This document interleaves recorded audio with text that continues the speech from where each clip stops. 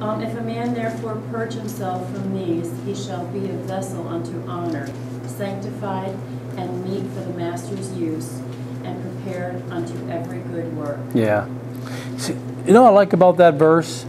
If we strive to be sanctified, strive to be holy, then there'll be some good works for fruit. If we don't do that, there's no fruit.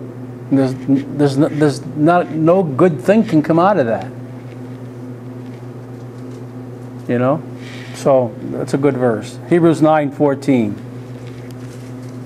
How much more then will the blood of Christ, who through the eternal Spirit of, offered himself unblemished to God, cleanse our consciousness from acts that lead to death, so that we may serve the living God? There you go. How much more shall the blood of Christ through the eternal Spirit offer himself, which he did, purge our conscience from dead works to serve the living God? It is very dangerous for a believer to sear that conscience. Once, once a conscience is seared, it's over. The Holy Spirit can't work in that person whatsoever. So don't let yourself get to the point in your Christian walk where, where you don't listen to your conscience anymore. Because, you know, that's for. Sometimes when you, you know, you know when you do wrong, okay? Sometimes your conscience tell you don't, you know, that's where you discern whether it's Holy Spirit telling you or your conscience. God can use both, okay? So make sure that that conscience is pure. All right, Hebrews 12, 14. Uh, Pursue peace with all people and holiness without which no one will see the Lord. Oh boy. You see how important living right, living a holy life is important? If we don't do it, the unsaved will not see God. Think about that. Do you realize the unsaved world, the only, the only, the only proof, the only evidence other than creation that there's a God that loves them is that they have to see it in us. If they don't see God living in us, they're just going to laugh at us. And some of the times, like Mike said, when they when they pick on us, it's because maybe we're not living right, and they say, "Ah, look at that hypocrite." And they have every and they have every right to believe that. That's that's why our testimony is so important, so important. Uh, James four eight. Come near to God, and He will come near to you. Wash your hands, you sinners, and purify your hearts, you double-minded. Okay. If we expect to draw nigh to God, then we got to clean our hands, purify your hearts. Now he's talking to who? Yeah. He's talking to believers here. He's not. The first book of the... James was the first book written, yes. Yeah. Yeah, when you, when you, when you open up Matthew, Mark, Luke, John, Acts, Romans, 1st, 2nd Corinthians, Galatians, okay, uh, in the New Testament, Matthew's not the first book, okay? The uh, people who collected the book just put them that way for some strange reason, but the first New Testament epistle written was James. And that's important. That's very important because James has a lot of doctrine in it. And I love to use the book of James on charismatics. Because I say to them, if speaking in tongues, if divine healings, and all that was so important, why did not James have it in the very first epistle? It's gone. There's nothing mentioned there. Why? Because the gifts had ceased by then. They were no, all gone. So, so it's important. Uh, listen, 2 Peter 3.14. Did I give somebody that? No? Let me read it. Seeing then that all these things shall be dissolved, what manner of persons ought you to be in all holy conversation? That Greek word means behavior. Behavior and godliness. See, God expects us to live like that. And it's hard. I realize it's hard. Sometimes He gets frustrated, but He expects that from us. He really does.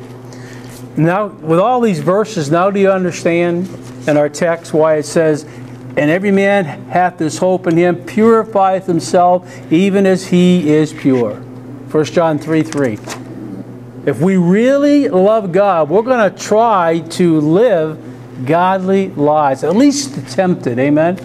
I have more respect for a believer that is at least trying to strive for that. Yeah, he might blow it, you know, he might make some mistakes, but at least he's trying. Amen. I have more respect for that than a Christian who doesn't care at all.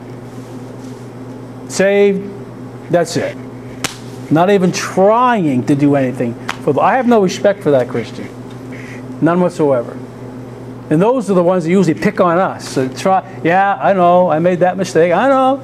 And, they point the finger, you know. You got to be careful, man.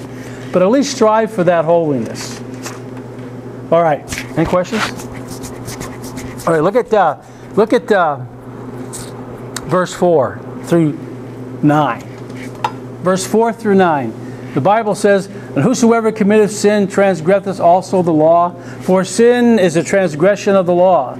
And you know that he was manifested to take away our sins, and in him is no sin. And whosoever abideth in him sinneth not. Whosoever sinneth hath not seen him, neither known him. Little children, let no one, let no man deceive you, and he that doeth righteousness is righteous, even as he is righteous. He that committeth sin is of the devil, for the devil sinneth from the beginning. For this purpose the Son of God was manifested that he might destroy the works of the devil.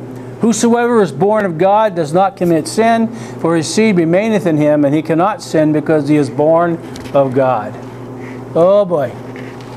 These verses are, are, I believe, one of the most misunderstood verses in the entire Word of God. That's where they get sinless perfection here, yeah. Oh, if I'm born again, I don't sin no more. Yeah, right. Let me punch you in the nose and see your reaction. Let's see how perfect you are.